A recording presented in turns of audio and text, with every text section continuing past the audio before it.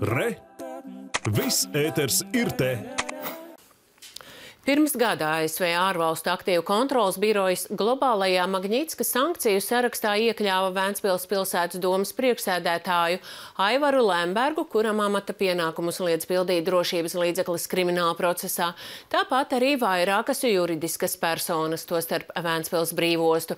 Tagad pēc Lemberga iniciatīvas pašvaldība ir nodibinājusi jaunu iestādi Vēncpils osta. Savukārt viņš pats saistībā ar sankcijām turpina tiesāties gan ar lēmuma pieņēmēju Vašingtonā, gan ar Finanšu un Kapitāla tirgus komisiju Latvijā. Vairāk Ivo Leitāna sižetā. Pirms vairākiem gadiem no šī balkona Aivars Lembergs, kas tobrīd atradās mājas arestā, uzrunāja savus lejā sanākušos atbalstītājus.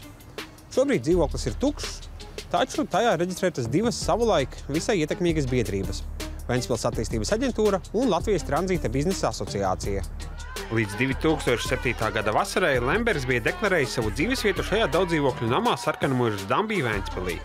Tikai vēlāk tiesa viņam atļāva mājas aresta laikā uzturēties puzes īpašumā. Toreiz Lembergu dzīvoklī neizdevās sastapt kundzēm, kas gribēja viņu apsveikt ar pilsētas lielās balvas saņemšanu, jo policija viņu bija izvedusi pastaigā.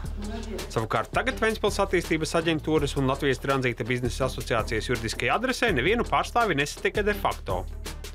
Abas šīs biedrības, tāpat kā biznesa attīstības asociācija, ko arī vada Lembergs, šīs seknes dēļ tika iekļautas Magnitska sarakstā.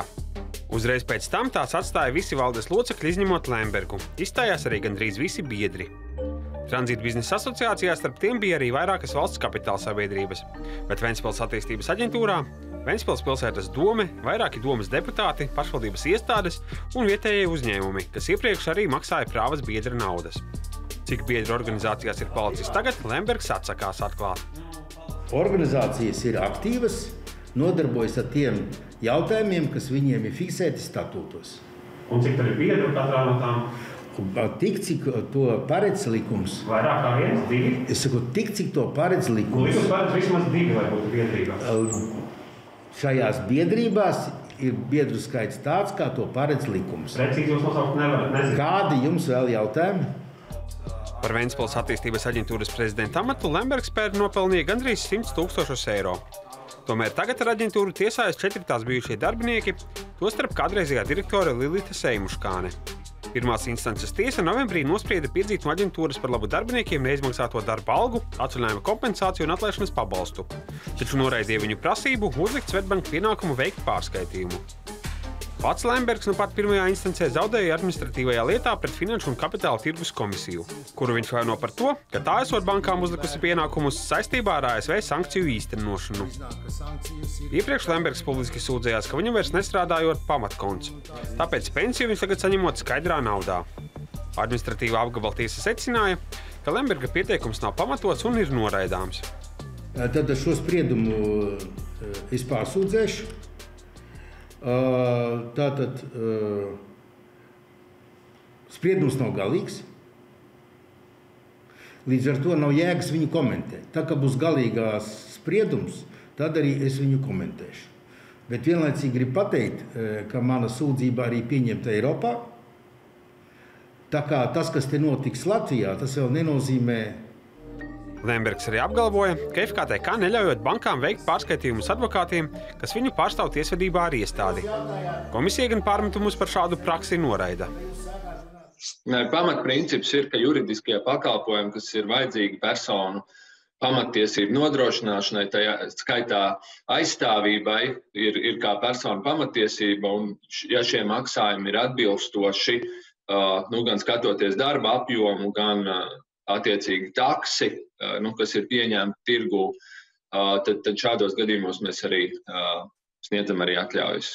Un nav princips par to, ka mēs nu, nesniegtu, nesniegtu atļauju par juridisko pakalpojumu sniegšanu, vai tas ir vērsts pret komisiju vai kādu, kādu citu, citu personu.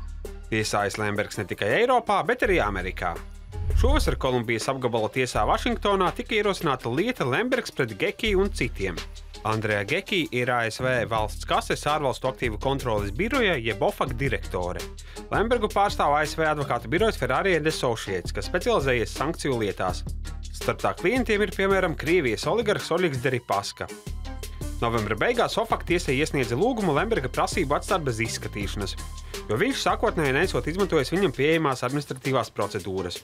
To ietvarā Lembergs varēja mēģināt pierādīt, ka pamatojums viņa iekļaušanai sankciju sarakstā nekad nav bijis patiess vai arī vairs nav patiess.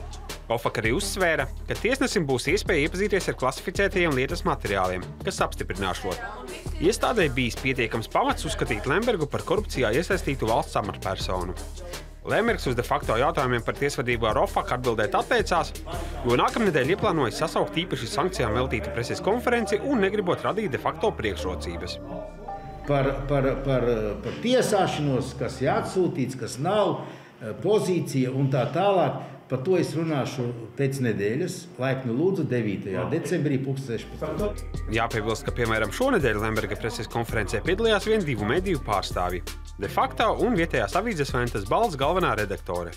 Tuvojoties Lemberga sankciju gada dienai, Vēncpils doma arī izveidoja jaunu pašvaldības iestādi - Vēncpils osta. Vēncpils brīvostas pārvaldē pēc likuma izmaiņām, kas nāca pēc sankcijām, pašvaldības pārstāvi vairs nav pārstāvēti valdē. 19. novembrī, nepilnas desmit minūtes ilgas Vēncpils domas sēdes laikā, pozīcija gan nobalsoja par iestādes izveidošanu, gan iecēla par tās vadītāju bijušo brīvostas pārvaldnieku. Lemberga vadītās partijas Latvijai un Vēncpilī biedru Imantu Sārmuli. Lai gan iestādes nosaukumā ir vārds osta, tās nolikumā kā pienākumi minēti pilsētas nekustamo īpašumu pārvaldīšana, kā arī Vēncpils brīvostas pārvaldē valdījumā nodotās mantas pāraudzība pašvaldības interesēs. Lembergs apgalvo, ka jaunā struktūra izveidota, jo tagad Vēncpils brīvostas pārvaldi vadot rīznieki, kam nerūp Vēncpilnieku intereses. Viens no jautājumiem, ko nodarbosies Vēncpils osta, šī iestāde būs investoru piesaiste, un viņi strādās ar tām teritorijām, kas ir Vēncpils pilsētas domes un kas nav nodotas brīvostas. Eh, Vēncpils brīvos pārvaldes valdījumā, kuru, kā zinat, es jau teicu, likvidēs tāli ņēmis Bordāns un Linkaitis un Kariņš.